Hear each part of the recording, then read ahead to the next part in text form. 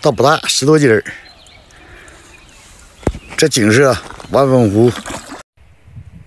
钓友朋友啊，有点馋鱼了，刚上了一尾大草鱼，是红烧啊，是清蒸啊，你们说的算。有喜欢湖野钓的，给米粒留个关注啊，感谢了。